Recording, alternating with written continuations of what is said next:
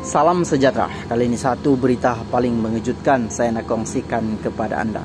Mungkin berita ini akan panas didengar oleh netizen Malaysia. Berita ini saya petik daripada Kosmo. Berita utama, Fatia Latif cukup-cukuplah cucuk muka. Nama Fatia Latif tahun ini agak meledak dalam kalangan netizen. Banyak juga isu yang dia sendiri cetuskan tanpa sengaja sehingga menjadi bahan bualan ramai dan salah satunya ialah membuat rawatan muka. Ramai juga mempertikaikan mengapa dia kerap membuat rawatan kecantikan dengan mengambil suntikan dan ada pula mendakwa terdapat perubahan kecil berlaku pada wajahnya. Baru-baru ini pun videonya melakukan rawatan wajah di sebuah klinik turut meraih kritikan daripada segelintir netizen.